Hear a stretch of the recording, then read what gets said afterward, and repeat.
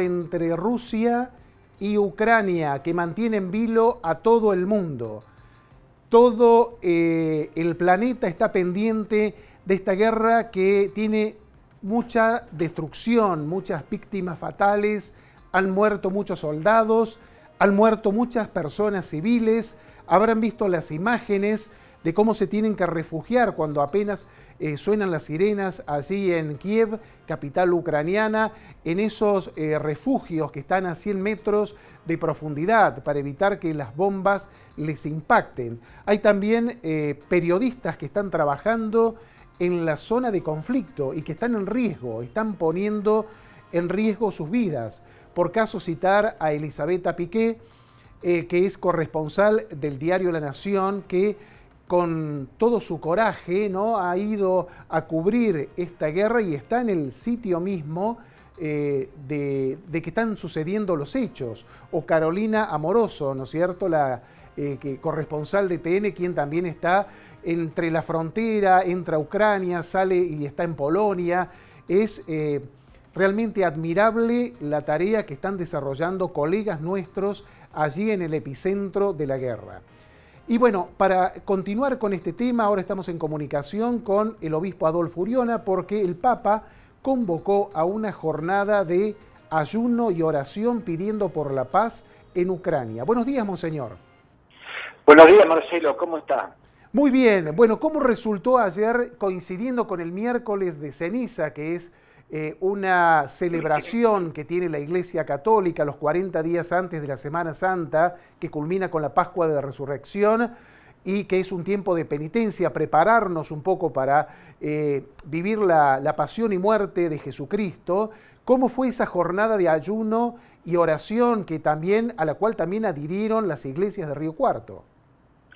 Sí, así es. Eh, bueno, la, la cuaresma, como todos los años, ese, como bien decía, es el momento de preparación, porque para nosotros la Pascua es la fiesta central de nuestra fe, la, la pasión, muerte y resurrección de Jesús, es lo que da sentido a la fe cristiana. Bueno, y justamente en esa ocasión, el Papa Francisco aprovechó la jornada de inicio de la cuaresma, el miércoles de ceniza, donde se hace un tiempo fuerte de oración y sobre todo de ayuno. Ustedes saben que el ayuno es solamente el miércoles de ceniza, el ayuno obligatorio, el miércoles de ceniza y el viernes santo, aprovechó esa jornada de ayuno para intensificarlo el mismo, al mismo y a la oración pidiendo por la paz en el mundo. Ayer hubo muy buena afluencia de fieles, ahora la pandemia estamos casi al final y bueno, y gracias a Dios muchos fieles pudieron participar eh, y recibir las cenizas y también asociarse a este momento de oración y ayuno. Usted decía, Monseñor, en una nota que nos daba en el diario Puntal que eh, la oración busca como objetivo o esta jornada que Dios toque el corazón de los responsables de esta locura que es la guerra.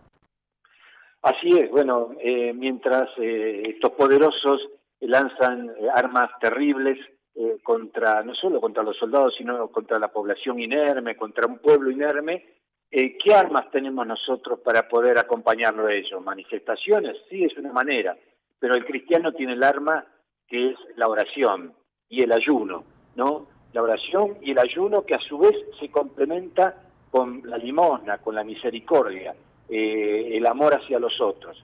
Son elementos que tenemos que intensificar pidiéndole a Dios que realmente nos escuche y que toque el corazón de estas personas, el corazón aparentemente endurecido, que toque el corazón para que pueda cesar todo esto. Era, eh, Monseñor, impensada una guerra en, pleno siglo XXI. No sé qué percepción tiene usted. Eh, nos sorprendió un poco, pese a que el conflicto ya venía arrastrándose, pero eh, esta guerra que la veíamos un poco en las películas, en Netflix, en, en las series, los tanques avanzando, la gente sufriendo movimientos eh, de miedo en, los subtes, la gente corriendo de un lado para el otro. Era una cosa impensada, pero realmente acaba de ocurrir. Bueno, y hay un riesgo también de una tercera guerra nuclear. Sí, e, eso es lo más terrible. Si bien, como ya había denunciado tantas veces el Papa Francisco, de que en este mundo se están dando guerras eh, por pedacitos, ¿no es cierto?, en distintos lugares, porque nosotros no conocemos o, no se da a conocer tanto lo que sucede en Siria, pero en Siria esta destrucción viene desde hace muchísimos, de varios años. Eh, y ahora toca a Europa y toca a un pueblo al lado de, la Unión Soviética que, es tan débil frente a semejante poderoso y, también con la amenaza de una, guerra nuclear. Eh, son momentos angustiantes. Eh, pienso en el corazón del Papa lo que está pasando, porque él ya muchas veces se ha hablado, eh, por el conflicto en Ucrania, eh, sobre todo del 2014, desde la guerra de Crimea, ya el Papa venía hablando sobre esto, pero jamás íbamos a pensar que iba a ser una cosa esta envergadura, ¿no? Se escuchan, eh, Monseñor, las palabras del Papa, hasta ha hecho gestiones ante la embajada rusa el mismo día en que se produjeron o se iniciaron los bombardeos. Perdón, y ha tenido también contacto el Papa con Zelensky, el presidente ucraniano estos líderes mundiales que nos llevan a, esta, a este extremo, a esta situación, ¿escuchan la voz del Papa? Eh, yo no sé. A mí me parece, a mí parece que no, que se dejan llevar por sus intereses. Eh, pero bueno, esa voz tiene que seguir limitando como la de Juan el Bautista, aunque parezca en el desierto, ¿no? Eh, y, la voz de todos los cristianos. Por eso el Papa recurre fundamentalmente a lo más grande que tenemos nosotros, que es la oración, ¿no? Ojalá que, pueda, pueda tocar el corazón, como decíamos ayer en la misa, que pueda tocar el corazón de estas personas que aparentemente está tan, tan cerrado. ¿Cómo notó la, repercusión de los feligreses riocuartenses frente a esta convocatoria del Papa Francisco?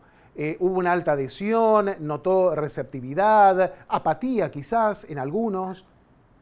Eh, no, yo eh, notamos, hablábamos con el, con el párroco, bueno, yo lo vi lo de la catedral, no, no hice una, una indagación con los otros sacerdotes, pero en la catedral hubo mucha, mucha gente, como no se había dado nunca, eh, quizás eh, más o menos un, un, número aproximado de cuando vinieron las reliquias de Carlo Acutis, eh, pero sí, nosotros notamos que mucha gente se ha animado a venir, mucha gente grande incluso, y a poder a participar. Creo que fue una jornada importante, eh, esperemos que sea un buen comienzo de cuaresma y que la gente pueda unirse en esta oración por, por la paz. Perfecto. Una jornada que convoca, Monseñor, a creyentes y no creyentes, según la misma convocatoria del Papa Francisco. Muchísimas gracias, Monseñor, eh, por su tiempo y por sus palabras.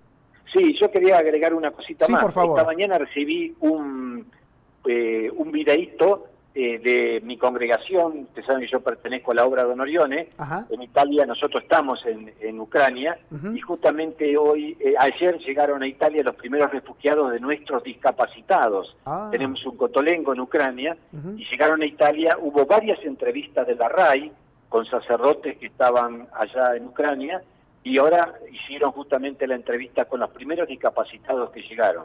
Tienen que llegar unos eh, llegar a unos 40 más entre discapacitados y personas eh, que, se refugian en nuestras instituciones. Bueno, eh, esa solidaridad también mundial es, otro gesto a destacar. Así es, Monseñor. Bueno, muchísimas gracias y bueno, eh, agradezcamos a Dios que esta, estos, estas personas con discapacidad pudieron, que están cobijadas dentro de la obra del Cotolengo Don Orione, pudieron este, regresar, digamos, salir de la guerra, por lo menos. Ah, Así es, así es. Bueno, una gracia. Muy amable, monseñor. Que tengan un buen día y saludo a toda la audiencia. Muy bien, fueron las palabras de monseñor Adolfo Uriona, quien nos dio una primicia. Refugiados, personas con discapacidad de la congregación de la obra del Cotolengo Don Orione, aquí también en Río Cuarto tenemos el Cotolengo, lograron salir de Ucrania y escapar de la guerra. Falta todavía un contingente. Bueno, son las gestiones que se están haciendo eh, para salvar a los inocentes de una contienda, de un conflicto en los que ellos no tienen nada que ver.